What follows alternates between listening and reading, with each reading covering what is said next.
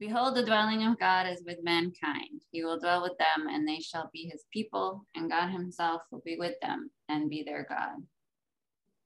Lord, open our lips.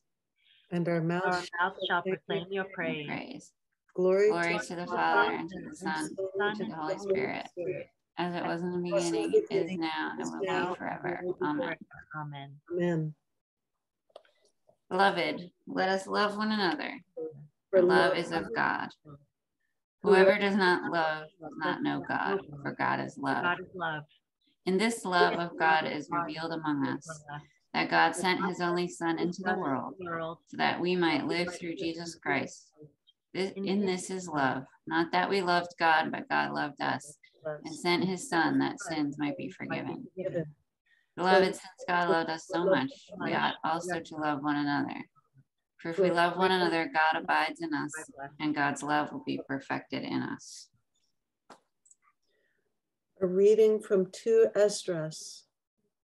Mother, embrace your children, bring them up with gladness as does a dove.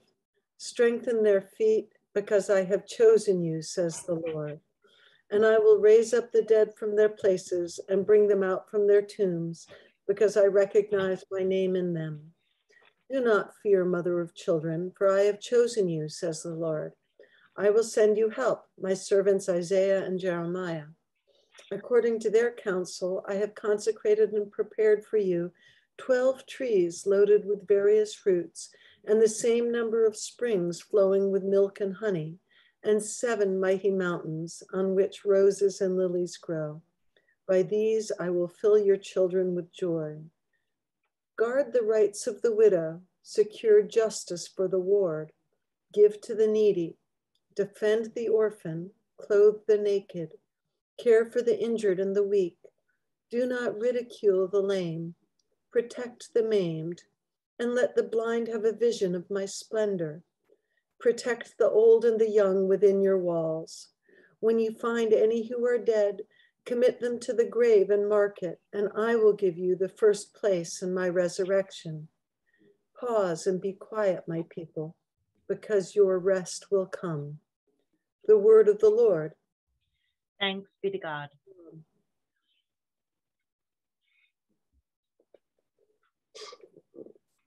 Thanks be to God. Let's read responsibly Psalm 119. Your word is a lantern to my feet and a light upon my path. I have sworn, sworn and determined to keep your righteous judgments. I am deeply troubled. Preserve my life, O Lord, according to your word. Accept, Accept O Lord, the willing tribute of my lips, and teach me your judgment. My life is always in my hand, yet I do not forget your law. The, the wicked have set a trap for me, but I have not strayed from your commandments. Ooh, your decrees are my inheritance forever. Truly, they are the joy of my heart. I have a heart to fulfill your statutes forever. forever and to the end. A reading from the Gospel according to Luke. One of the dinner guests, on hearing this, said to him, Blessed is anyone who will eat bread in the kingdom of God. Then Jesus said to him, Someone gave a great dinner and invited many. At the time for the dinner, he sent his slave to say to those who had been invited, Come, for everything is ready now. So they all alike began to make excuses. The first said to him, I have bought a piece of land and I must go out and see it. Please accept my apologies. Another said, I have bought five yoke of oxen and I am going to try them out. Please accept my apologies. Another said, I have just been married and therefore I cannot come. So the slave returned and reported this to his master. Then the owner of the house became angry and said to his slave, Go out at once into the streets and lanes of the town and bring in the poor, the crippled, the blind, and the lame. And the slave said, Sir, what you ordered has been done, and there is still room. Then the master said to the slave, Go out into the roads and lanes and compel people to come in, so that my house may be filled. The word of the Lord. Thanks, be to God. Be to God. Good afternoon, everybody. I apologize, I was having some computer problems there for a second, but I'm back. Today's uh, saint of the day bio from Alan is from is about Mother Seton, which might sound familiar to you. Elizabeth Ann Bayley Seton was the founder of the Sisters of Charity, the first community of sisters native to the United States. She was also a wife, a widow, a single mother, an educator, and a social activist and spiritual leader. Elizabeth Bayley was born in New York City in 1774. She endured a turbulent childhood and suffered severe bouts of depression. She survived by immersing herself in poetry, piano lessons, and devoted participation in the Episcopal Church. In 1795, she married William Seton. Samuel Provoost, the first Episcopal Bishop of New York, presided over the wedding. Three years later, her father in law died, leaving her husband with the responsibility for a large family and a struggling family business, and Elizabeth with a large inherited family to care for. In 1801, the business failed, and the Setons lost everything. Her husband showed the symptoms of tuberculosis, and in 1803, they set sail for Italy in the hopes that the warm climate would cure his disease. The Italian authorities, fearing yellow fever, quarantined them in a stone, cold stone hospital for the dying. William soon died and left Elizabeth a young widow with five children ooh, and few resources. While in Italy, she discovered Roman Catholicism. Returning to New York, she encountered bitter opposition to her new religious leanings. With five children to support, she felt alone and estranged. She turned to Roman Catholic clergy for support, in 1805, she formally converted to Roman Catholicism. In 1806, she met Father Louis Dubourg, who wanted to start a congregation of women religious, patterned after the French Daughters of Charity, in 1809, Elizabeth took vows and became Mother Seton to a small community of seven women dedicated to teachings. The sisters were given land in rural Maryland, and in 1810, they opened St. Joseph's Free School to educate needy girls. The sisters intertwined social ministry, education, and religious formation in all their varied works. Mother Seton dispatched sisters to operate orphanages in Philadelphia and New York. Elizabeth Ann Seton remained the mother of the Sisters of Charity until her death on January 4th, 1821. In 1975, she was canonized by the Roman Catholic Church as the first native born American to be so honored. Oh, that's nice. Mother Seton. Lord have mercy. Christ, Christ have, mercy. have mercy. Lord have mercy. Our Father, Father who art in heaven, in heaven hallowed be thy name. Thy kingdom come, thy will be done, on earth as it is in heaven. Give us this day our daily bread, and forgive us our trespasses, as we forgive those who trespass against us. And lead us not into temptation, but deliver us from evil. For thine is the kingdom, and the power, and the glory, forever and ever. Amen. Amen. Lord, hear our cry and let us cry come to you. Mm-hmm. Let us pray. Holy God, you blessed Elizabeth Seton with your grace as wife, mother, educator, and founder, that she might spend her life in service to your people. Help us by her example to express our love for you in love of others.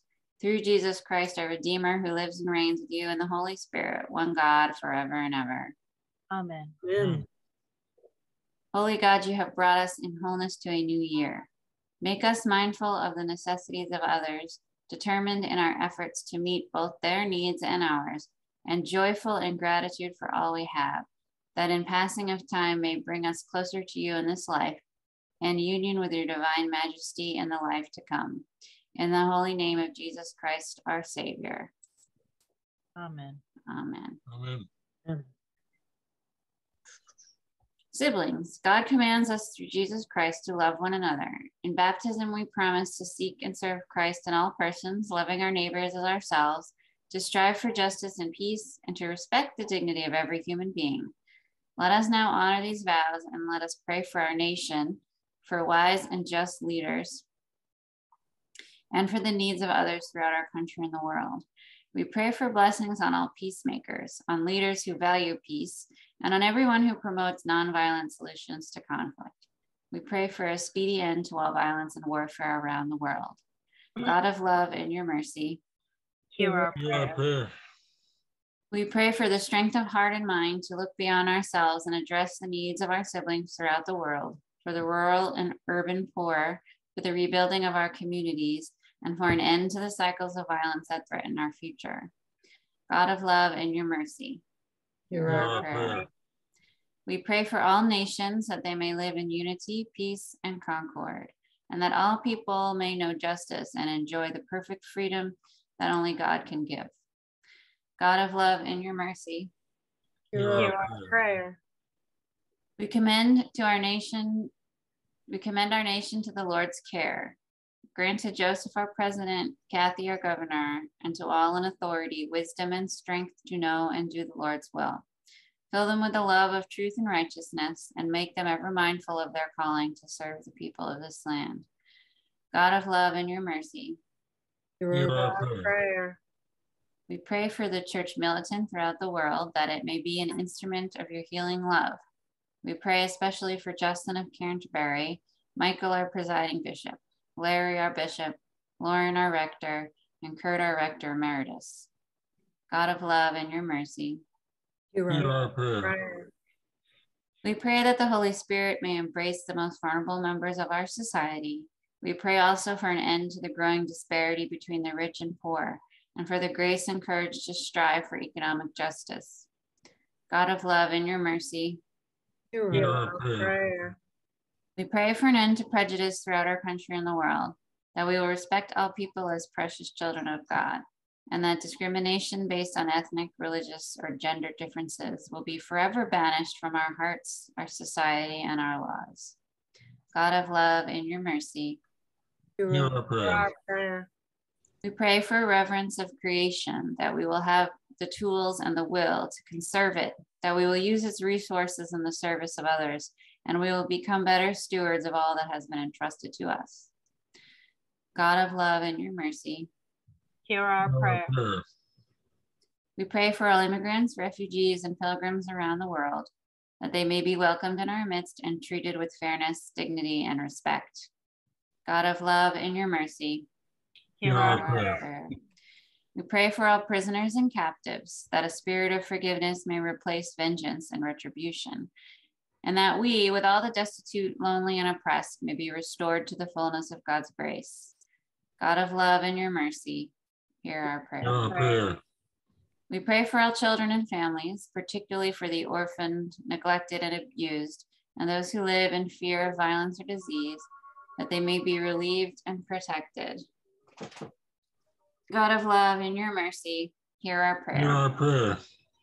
Bless the Lord, physicians, nurses, and first responders, and all others who minister to the suffering, granting them wisdom and skill, sympathy, and patience. We pray especially for Dr. Elizabeth Engelman, Dr. Dan Griffin, Dr. Jeff Karowski, Dr. Rachel Simpson, Karen Liu, Eva Longmire, Brenda Marshall, Susan Dietz Massengill, Kat Bates, Norina Guerra, and those responding to natural and human made disasters. God of love, in your mercy, Hear our prayer. we pray for the sick, the aged, and infirm, for those with physical or mental disabilities, that all may have access to proper health care, and God's loving embrace may be felt by all who suffer.